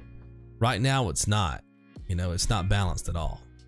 And um, that again that goes back to to what's so mentally taxing about the whole thing um but yeah it i want this to become a career and i want all of us to be happy you know uh, i want i want you guys to be donating very little but as a group it ends up being what i need you know to continue and you know for you it's just a cup of coffee you know a month and you know, I, a lot of you will tell me, well, I don't have any money, and some of you don't. Some of you are, you know, the COVID thing, and you're not, you're not even gaming right now. You have no gaming budget because all your money is going toward bills. Look, I'm not talking to you. You know what I mean? I'm not trying to make you feel guilty because I, I, I was at a time in my life where I didn't have any money, you know, and so I know what that feels like. But I am talking to the people who have a gaming budget no, you're spending $60 a month on games. You're spending $40 a month. You're spending $20 a month. It's like, what's an extra dollar? You know, spend an extra, add one more dollar to your gaming budget. If a thousand people added one more dollar to their gaming budget, I could be full time. All the stress and the mental whatever I've been going through for, for nine and a half years would suddenly be lifted. And I could breathe a little bit, you know? Um, so that's the end goal is to connect with enough trophy and achievement hunters that understand that for them to get a guide from me, it takes all of my time. And that's what I'm hoping happens before time runs out. Do you have any other passions other than video games? Actually, a lot. Um, I play a little bit of music. I can I can strum a guitar. I'm not the best. I, you know, I had a friend of mine teach me a little bit, and then I learn on my own. Um, but I do like to, you know, dabble in the music world a little bit. Um, I love music in general. Uh, movies, big movie fan. Uh, some of you know this already, but I love watching documentaries. I watch a documentary every day, every single day. You're probably saying, well, how do you do that if you're routing gods as much as you say you are? I just have it in the background. I can multitask. My brain is pretty good about that. So just something in the background. A lot of times when I play these games, it's muted. I'm not even listening to the game because uh, you don't have to do that to route gods. And I just love absorbing knowledge. I like to hear different perspectives. Um, uh, let's see. I am an artist. I haven't I haven't drawn in a long time. But man, I used to draw all the time. Back when I was in high school, we had to do uh, weekly, like every Friday, we had to turn in an art project. And that was our only grade in the class was every Friday you turned in an art project and, you know, at the end of the year, semester, whatever, that's how you got graded. And I was the only art student that had a perfect score. I, I, I left that class with a 100, like an A, A plus, or I don't, I don't know what it is in your particular school or college or whatever, but we graded like on a A to F scale. And then uh, if you had a hundred, you you you basically had an A plus, but it was just it was still considered an A. Um, but I was very proud of that.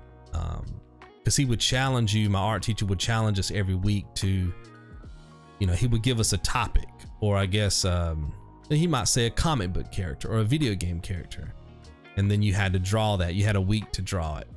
And you know, there was some crazy ones too, like fruits and vegetables and stuff like that. I mean, you know, um, some stuff that you really didn't want to draw. But I, I had I had a perfect score in that class, and I loved it. Um, I won several, um, I guess, art festivals. I won awards because I, you know, put my stuff in the contest. Um, I did a mural for the school I was in. You know, we had a brand new cafeteria built, and they wanted like a mural in there for like school spirit, and I was chosen to help out with that. So that was cool. So yeah, man, anything creative, anything. Uh, I paint. I mean, you name it. I love uh, being very creative. So I, I, guess that's why I love YouTube so much because it allows me to, to edit, which is another passion of mine is editing videos uh, and being creative. So yeah, if it's creative, man, I love it. Did you like Cyberpunk 2077? Will you make a guide on The Witcher 3? Will you cover all the Tomb Raider games, Batman games as well? How is your merchandise coming along? Could you make your channel profile picture red? It would look really good. Square One Games with red. Lot of questions. So the first one, do you like Sky, uh, Cyberpunk 2077? Haven't played it yet. We talked about this earlier. I kind of refuse to play games at this point, guys, that I know are going to be an absolute buggy mess when they drop. And as gamers, you should know these games. Like I knew Cyberpunk 2077 was going to be a mess before it ever hit the market. And I'm I'm I'm kind of confused as to why some gamers didn't think it was going to be a buggy mess. Maybe it's because they've done big projects like that in the past, but come on, man, with a game that big, I'm, I'm just surprised that other people were surprised that it was so buggy when it came out. So I haven't played it yet. I'm sure I would like it when I eventually get to play it, but have not played it yet. Uh, will you make a guide on The Witcher 3 if patrons want it? Uh, the one thing we have to consider when we when we um, make big guides like that, and we're we're seeing this now with Ghost of Tsushima, it's very tough to make these big guides because they take so many months to produce. And while I'm making those guides, I could have made five AAA guides, right? Like in the time it's going to take me to get Ghosts of Tsushima done, I could probably get Uncharted 2, Uncharted 3, Uncharted 4, and Lost Legacy done in the same amount of time. You see what I'm saying? So it really just depends on what the patrons want. If they want Witcher 3 and it takes me two months to get it done, then you know that'll be the content for the channel. Um, but that's just the one thing we have to take into consideration. Uh, I, yeah, heck yeah, I want to cover the Tomb Raider games. I covered uh, them on the old channel, not the newest one.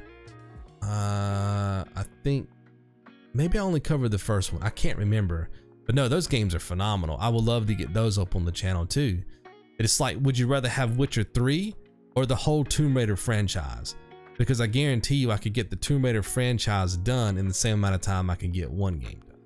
So that's the drawback, right?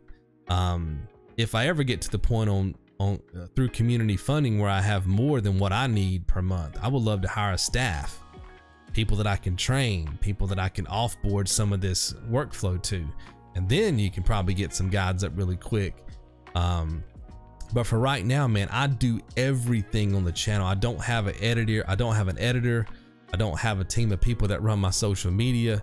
Um, I don't have a team of people that does my marketing. It's just me. I do everything from start to finish. So, yeah, I would love to cover all these games, but it's just finding the time to do it. You know, that's the tough part. Um, how is your merchandise coming along? It will launch this year my plan was to launch it uh, before I started this new channel, but time ran out. And once I started this channel, now you have to post. Now you got to get content up. So there's been no time to go in and um, get the merchandise done. But with the new PC, I can actually get work done a little earlier now. And probably in about a month or two, I'm going to go in and um, and get the merchandise ready for you guys. I've already found a supplier the the prices are reasonable. You guys are going to be able to get t-shirts for 20 to 25 bucks and the channel myself will still make enough money off of that to handle returns and stuff like that because I have to put aside a lot of that money for returns. You know, some of you guys might get the wrong size or you just might want a refund in general. That has to come out of what I make. And then I have to pay them to handle all of the mailing from me and the customer service and then I got to pay taxes, and you know, so there, it's reasonable to where if you guys are paying twenty to twenty five dollars for a shirt, that there's enough there for me to handle everything on my end to just to get you the merchandise. And then obviously the rest can go into funding the channel. So yes, merchandise needs to be a thing. A lot of you guys have been asking for it, and they do a lot of stuff, guys. Uh, framed posters, um, you know, coffee mugs, t-shirts, polos. I mean, they got it all. So it should be a pretty good uh, place for us to start with merchandise. Uh, as far as changing the profile picture to red, it'll probably never happen only because branding is so important and people get to know your little YouTube icon. And people have gotten to know mine. It's blue with the Square One Games logo and that's in white. And so you really don't want to change that for marketing purposes. But I will be offering merchandise with my logo in all the colors. In fact, um, the way that I'm, I don't, should I should I tell you guys this now? Mm, or should I save it? Because mm, it's kind of unique. But just know that I'll be offering my logo in all the colors with merchandise. I'll leave it at that for now. But once we get into merchandise, it'll make sense um, why I'm choosing the different colors. But if you would like to get uh, the Square One Games logo in red. Uh, once we get merchandise, you're more than welcome to do that. I'll have it in red with a red background and a white logo, and then I'll have it inverted with a white background and a red logo. What's your job in the real world? If you don't have one, where does your income come from? I don't have a job in the real world. Like I said, I've been working since I was 15, uh, helping that farmer. Uh, and then uh, once I started making YouTube videos, I try to do some part-time work and do the YouTube thing and the job at the same time. And the part-time work led to a full-time job, and then the YouTube wasn't working out anymore. So it's just impossible to do this and have a job at the same time. It has to be one or the other. So currently, I'm just living off of savings and uh, you know the money that I've accumulated over the years. I've set aside um, four years ago, I set aside a sum of money. And, you know, I had a little bit of patron support back then. And so I've just been balancing that sum of money with with community funding. And as long as this money doesn't run out, I can continue to a certain point. Um, like I said, if I were to lose all my patrons tomorrow and nobody donated through PayPal, it would just ended that I might have a half a year. And then that would be it because it's just so expensive. Ubisoft portrays an image of Templars as the bad guys in the Assassin's Creed video game series. Do you feel they are bad guys? Or since the series is written from the perspective of an assassin, you are forced to play as an assassin and thereby unwittingly sympathize uh, with the assassin's cause? In short, are the Templars or assassins fighting for the betterment of humanity? That's a very good question, man. Um, it's been a long time since I've played this franchise, and I haven't played all the games in the franchise. I, I think I, I mean, I've played one through four, right? Black Flag was the last one I played, I think. And I, I covered two of those games, I believe, on the old channel. But it's been a very long time. I do know that they set it up to, you know, to to portray the Templars as bad guys. But that's the good thing about a good story, right? Is when you you know who's supposed to be the bad guys, but you can you can side with them. You see where they're coming from, right? In the grand scheme of things, the assassins think they're doing correct, but so do the Templars. So they're both good and they're both bad. And I think if you really want to write a good story, that's how you do it. I mean, is Darth Vader bad? Right? Or can we see how he evolved into Darth Vader, especially when you go back and watch the the prequels, right? Is it is it all his fault necessarily? Right? Did he just wake up one day and just decide to, you know, run an empire? Right? So we can side with him. We can see it from his point of view. Another good example is Batman and Joker, right? So we want to think Joker is the villain. We want to think that. But there's just as much context there for Batman being a villain right? And they point it out all the time in the comics and even in the movies, right? Like Batman's constantly breaking into people's houses and, you know, museums or whatever it is he's doing, breaking and entering, which is illegal, but he's a hero. So it's that dynamic, right? And then the Joker's always pointing it out. Is like, at least I do it legit, right? At least I know that I'm breaking and entering and doing un uh, unlawful things, right? So it just depends on on the the writer and how they portray their characters and I think that Ubisoft does a good job with that. I don't know where the franchise is now to be honest with you. You know, I always thought the coolest part about the Assassin's Creed games was the real world events. A lot of people didn't like that. A lot of people hated it. You know, they would get sucked back into the real world and they'd have to do some stuff and they didn't like. I loved that part of it. And when they stopped with that, I don't know if they've done that with um uh, the games I haven't played. I don't think they did. But uh, I like that. I loved it when they took us out into the real world and kind of was blending those two um, timelines together, right? Um, but to fully answer your question, I would have to really get deep into the story again. And I'm just so far out of it right now. But I think you get what I'm saying. They're both right and they're both wrong. And even though you're playing as the assassins and you should side with the assassins, right? That's what that's what you think you should do. If you look at it in the grand scheme of things, you you're doing wrong at the same time you're doing right because from the other point of view, they're in the opposite, right? It's the same way with, you know, Batman and Joker. When you're watching Batman do heroic things, you're also watching him do unlawful things. So it depends on how you are viewing it right? Determines how you think about Batman. Why did you leave your old channel, which had more subscribers? I'm about to hit you guys with some crazy truth right here. So 50% of my viewers are not subscribed.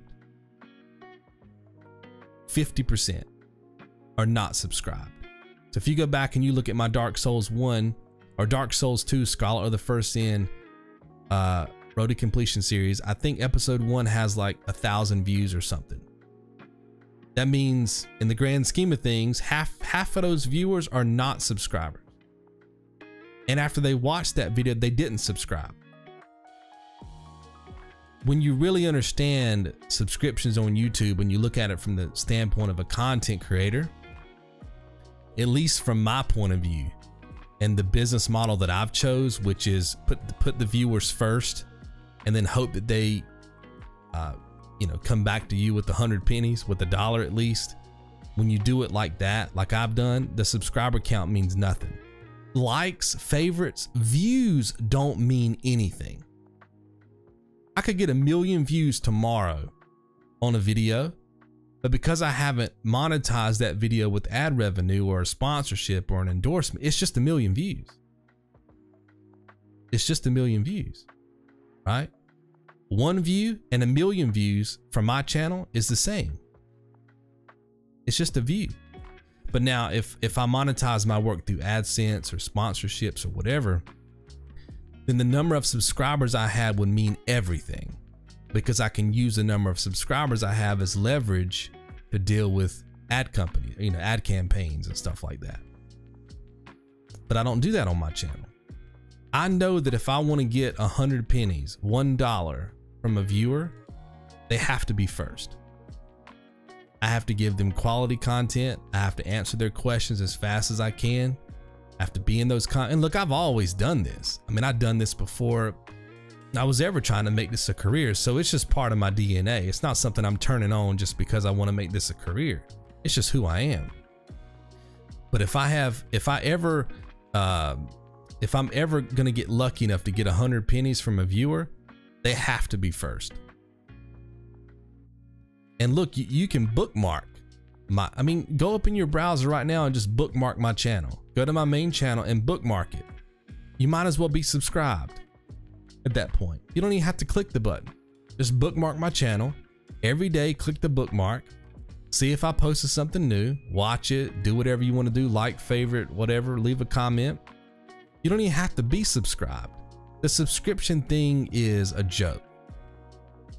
It's a joke you have to really trust your content. You have to really trust it to make it for free and then let people donate against it. You have to really trust that it's good. And if it's not good, then it, it won't come back in the form of, of monetary gain and you'll be forced to quit, which is the position I'm in right now. Because it has to be good. You have to be on every single day. It's a very high standard, right? So subscriber count to me means nothing. Views don't mean anything. Like, dislike rating doesn't mean anything. I know I talked about that in the post. It doesn't mean anything to me. It means something to a new viewer. New viewer comes to your channel. They want to know how many subscribers you got, how many views you got. You know, do you have a million view video? What's your most popular video? You know, they care about your accent, stuff like that. These are things I don't think about, you know. I'm worried about my like dislike rating because I'm worried about the new viewer coming in and seeing it and how important it is for them. I personally don't care. I care about what you have to say about the content. Same thing goes for reviews. I care about what the person has to say, not about the number. So I hope that answered your question. This channel right here could blow up tomorrow and have a million subscribers. But if I were getting 20,000 views and my Patreon was still sitting where it is right now, is it really successful? No. It's not. It's not successful. It's actually really, really bad. Right? In the grand scheme of things, it's really a horrible channel.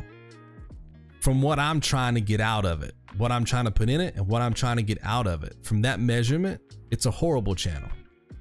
Right? So it depends on what you're looking for. Most people wouldn't have walked away from 18,000 subscribers. I did it like it was nothing.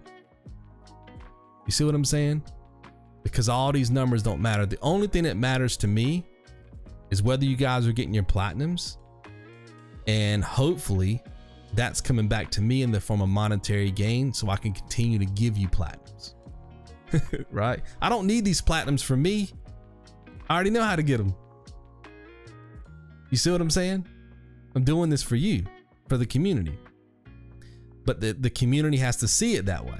They have to go, yeah, man, if this dude's spending 14 hours a day, I mean, yeah, I'll give him a hundred pennies, right?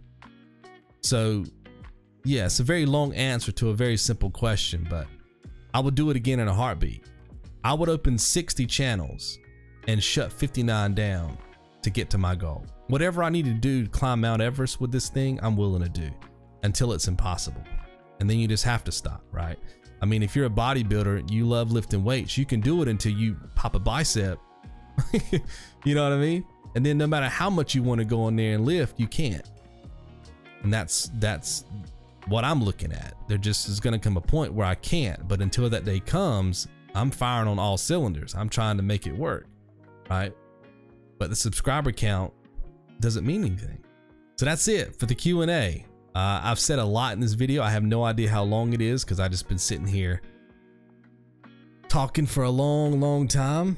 Um, but if you guys want to do another one of these or you want to ask questions, you want to get more specific, I'm down. That's what the dose is all about. I want to do more episodes. Um, but I really hope you guys have enjoyed this. I've said a lot. Leave your comments below. And uh, that's it, man. Thank you so much for the support. See you in the next one. Be good.